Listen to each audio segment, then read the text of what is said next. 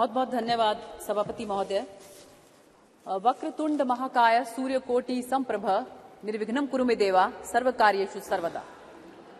गणेश चतुर्थी पर हम सब लोग पुरानी लोकसभा के भवन को छोड़कर नए भवन के अंदर हम सब लोगों ने प्रवेश किया है और उसमें सबसे पहले जो बिल आया है वो महिला आरक्षण पर आया है।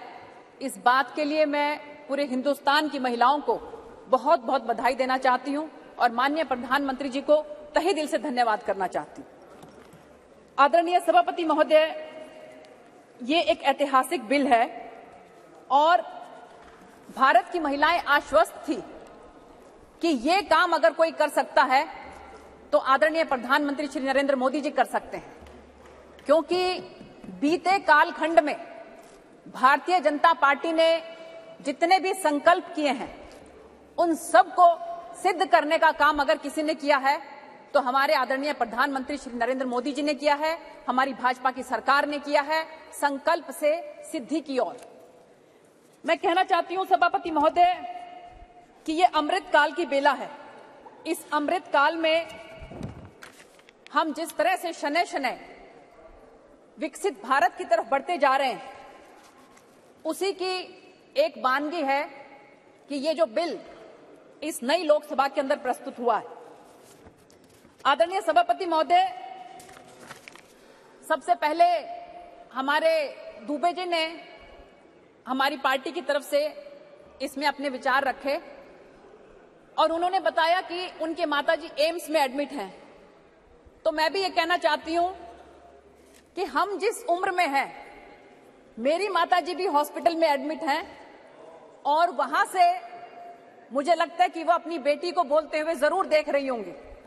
उन्होंने नौ महीने तक मुझे अपनी कोख के अंदर रखा और हर माँ अपने बच्चे को कोख में रखती है। एक माँ जो है, उसका फ्लैश और ब्लड वो लड़के को भी उतना ही मिलता है जितना लड़की को मिलता है। तो इसलिए माँ प्रकृति ने कोई भेदभाव जो है वो आदमी या औरत में नहीं किया। तो मैं मेरी माता जी को तहे दिल से धन्यवाद करना चाहती हूँ कि उन्होंने मेरे अंदर जो आत्मविश्वास पैदा किया।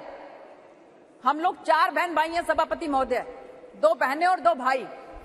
लेकिन हमें आज तक ये महसूस नहीं हुआ कि हम महिलाएँ हैं या हम लड़की हैं तो किसी भी मामले में हम कमतर हो सकती हैं। तो जो आत्मविश्वास हमारी माता जी ने, क्योंकि माँ प्रथम गुरु होती है, हमारे अंदर पैदा किया, उसको हमारे आदरणीय प्रधानमंत्री जी ने और हमारे संगठन ने समझा और परखा। और 2014 के अंदर दुनिया की सबसे बड़ी पार्टी, भारतीय जनता पार्टी ने मुझे अपना अभिन्न अंग बनाया। मैं तहे दिल से इस बात के लिए भारतीय जनता पार्टी का धन्यवाद करना चाहती हूँ। सभापति महोदय।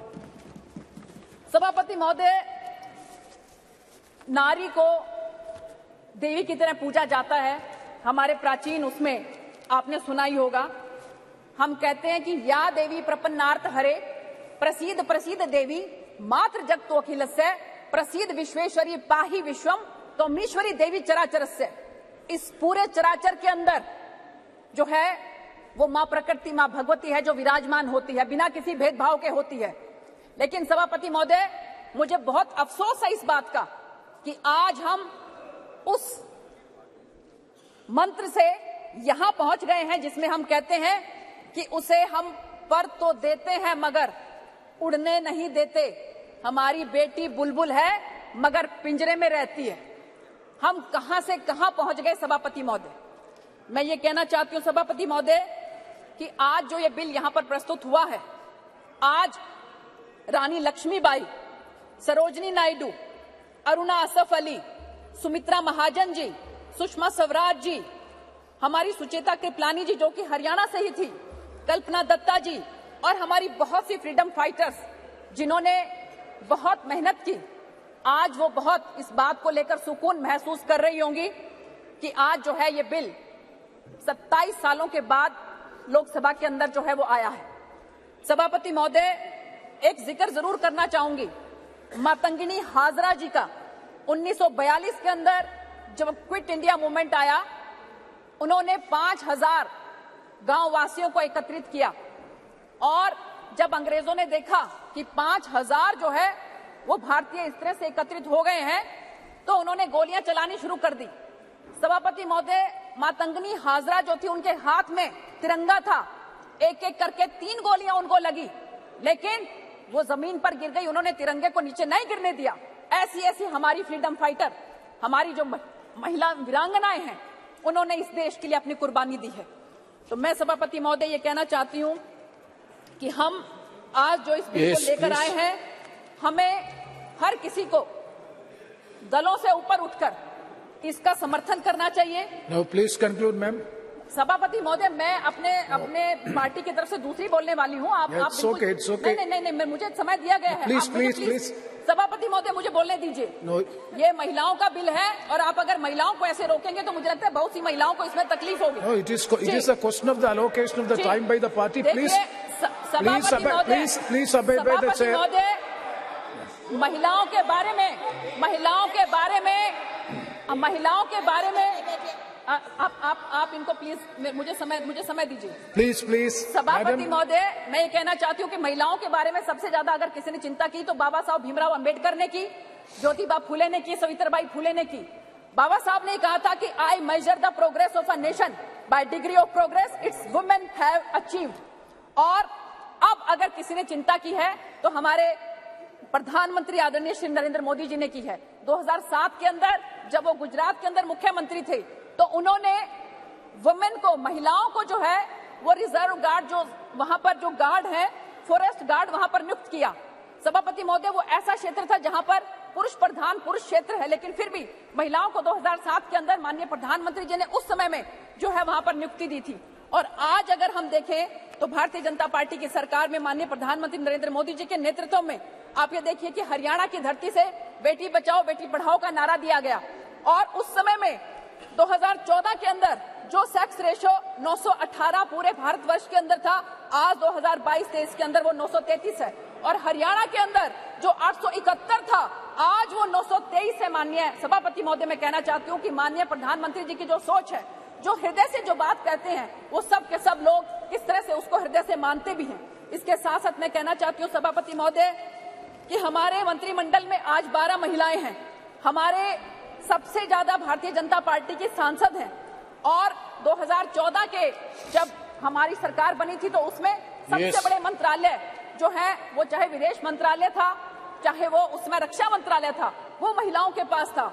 आज सबसे ज़्यादा राज्यपाल जो हैं वो हमारी सरकार में है। ये अहदे ही हैं जो बताते लफ्ज बयां को खास। ये अहदे ही हैं जो बनाते हैं लफ्ज बयां को खास वरना कौन सुनता है यहाँ औरत की बात? माननीय सभापति महोदय इसके साथ साथ मैं आपको कहना चाहती हूँ कि इसलिए यह ज़रूरी है कि अहदे मिलने चाहिए राजनीति के अंदर महिलाएँ आगे आनी चाहिए नहीं तो उनकी बात कोई नहीं सुनता है। सभापति महोदय मैं कहना चाहती हूँ 2004 के अंदर यूपीए सरकार जो कॉमन मिनिमम प्रोग्राम के अंदर जो है वो सबसे पहले उन्होंने रखा था कि हम वुमेन रिजर्वेशन बिल लेकर आएँगे। और 2006 मई 2008 के अंदर राज्यसभा में टेबल किया गया। और उसके बाद 9 मई 2008 को स्टैंडिंग कमेटी को भेज दिया गया। 17 दिसंबर 2009 को स्टैंडिंग कमेटी स्टैंडिंग कमेटी ने अपनी रिपोर्ट दी और फरवरी 2010 को यूनियन कैबिनेट ने अप्रूवल दी। सभापति महोदय 9 मार्च 2010 को राज्यसभा में पास किया गया एक सौ छियासी एक को लेकर। मैं सबसे पहले तो बल्कि ये देखना चाहती हूँ कि वो एक महानुभाव कौन था? जिसने महिला रिजर्वेशन बिल के खिलाफ वोट किया। इसके साथ सभापति महोदय मैं कहना चाहती हूँ कि लोकसभा में ये रिपोर्ट किया गया। समाप्त कीजिए तो, प्लीज़ अ, एक मिनट के लिए सभापति महोदय सिर्फ़ मेरे को दो मिनट और चाहिए। कम्युनिकेट किया गया लेकिन उसके ऊपर उसको कंसीडर नहीं किया गया। इस Thank बात you. का जवाब कांग्रेस पार्टी को देना पड़ेगा। Thank you. ये ये क्यों सभापति महोदय लास्ट में लास्ट में लास्ट में मैं कहना चाहती हूँ कि देखिए महिलाएँ जो है लास्ट में बस एक एक बात कहना चाहती हूँ। एक सेकंड मीना जी। कि जो ये बिल लाया गया है इसमें हर दल से ऊपर उठ के सभी महिलाओं को जो है वो बढ़ चढ़ कर हिस्सा लेना चाहिए। बहुत अच्छी एक छोटी सी कविता दो लाइनों में खत्म करना चाहती हूँ अच्छा। जिसको अमिताभ बच्चन जी ने गाया है कि तू खुद की खोज में निकल तू किस लिए हताश है? तू चल तेरे वजूद की समय को भी तलाश है। धन्यवाद। जो तुझसे लिपटी बेड़ियाँ। जो तुझसे लिपटी बेड़ियाँ समझना इनको वस्त्र तू। भेड़िया धन्यवाद, पिघाल कर बना ले इनको शस्त्र तू। तू खुद की खोज में निकल तू किस लिए हताश है? तू चल तेरे वजूद की समय को भी तलाश है। बहुत बहुत धन्यवाद सभापति धन्यवाद धन्यवाद। श्रीमती वीणा देवी जी। सभापति माननीय सभापति।